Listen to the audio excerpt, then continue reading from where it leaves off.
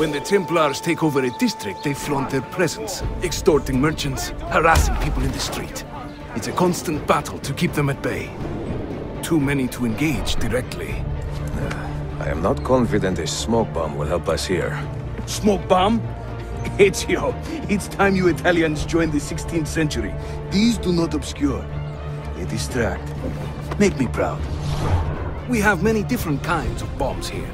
Some are used tactically, to stop chasing cars or manipulate the crowd.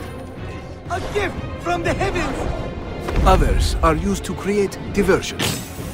A good way to handle guards before they attack.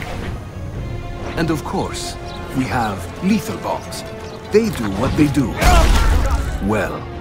And if you want to learn how to craft your own bombs, I can show you.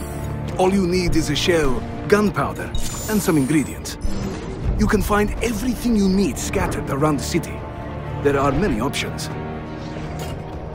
And don't be afraid to experiment. What's the worst that could happen? I will give it a try. What was that? Better look into it. You see? The guards are moving out of the way. My brothers in Roma would like this. Just give credit where it is due.